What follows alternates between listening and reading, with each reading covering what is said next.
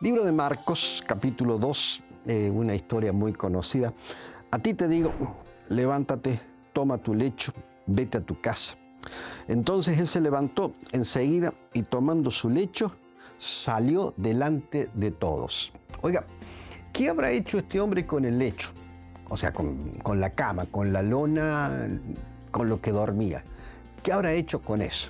Usted dice, pastor, ¿y qué importancia tiene? ¿Sabe? Para mí tiene importancia. Em, yo creo que eh, hay que guardar, hay que guardar en la memoria y si es posible físicamente cosas que nos recuerden las intervenciones divinas en nuestra vida hechas por Jesús en el pasado.